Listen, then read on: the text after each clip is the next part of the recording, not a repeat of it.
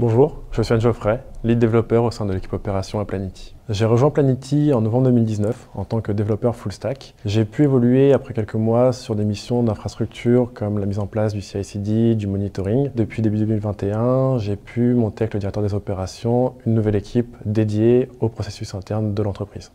Les challenges de l'équipe opération sont multiples. Néanmoins, le principal, ça va être d'amener de la technique au sein des différentes équipes de Planity afin d'améliorer leur quotidien. Et pour ça, ça va être la mise en place de nouveaux outils ou l'amélioration d'outils déjà existants en les automatisant par exemple. Au sein de Planity et au sein de l'équipe opération, au niveau technique, on va utiliser du JavaScript, que ce soit sur la partie front avec du React et du React Native, ou sur la partie back avec du Node.js, que l'on va généralement déployer sur des infrastructures AWS avec des Lambda ou des machines EC2, et selon le cas de figure, sur GCP avec Firebase. Si je devais convaincre un candidat de rejoindre Planity, pour lui parler des bureaux et du quartier qui est super, Néanmoins, pour moi, j'aimerais surtout lui dire qu'aujourd'hui, Planity a doublé d'effectifs. Pour les mêmes raisons que j'ai rejoint Planity à l'époque, on a su garder une taille humaine, ce qui me permet au quotidien de travailler les uns avec les autres et de ne pas avoir de fracture entre les équipes.